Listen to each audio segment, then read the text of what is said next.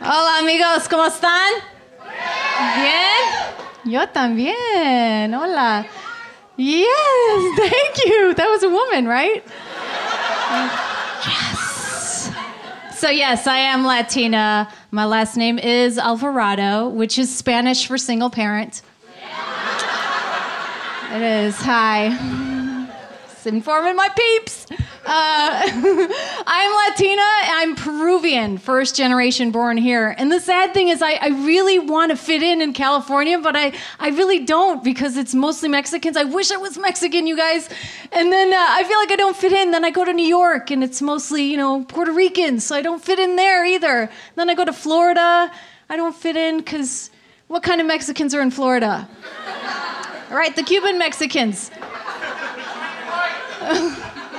They're everywhere. I, can't, I don't fit in. I'm seriously, I mean, look at me. I'm not even the typical Latina, you know, because I got pregnant in my late teens. Yeah. I know. That's a lot of pressure at home. My mom's like, hurry up, your little brother's a grandfather. okay, I'm trying. pressure. I'm glad you guys are laughing with me. That's awesome. I actually went through some really hard times because I was pregnant young. I have a nine year old son.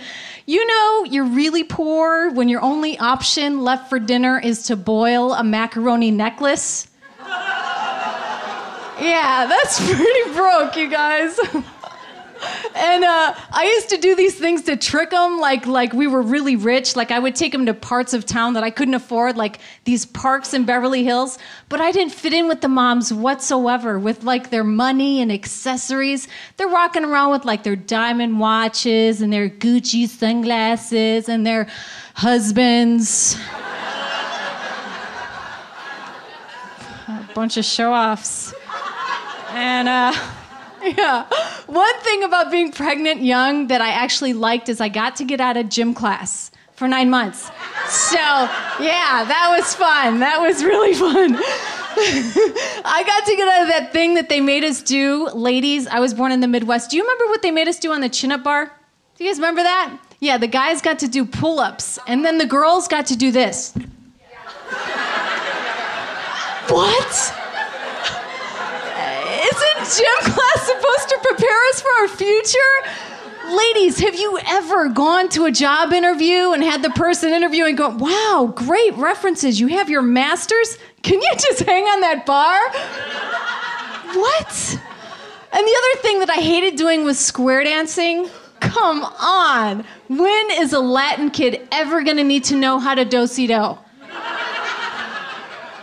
Plus, do si do equals cuatro. Anyway. Hi. Get with the program, right? and then there was the worst thing ever. Do you remember the pummel horse? That long thing with the two handles? They made us jump across this. First of all, anything with the word pummel in the name is not good for our kids. The first time I tried to jump across this thing, I actually fell and broke my water.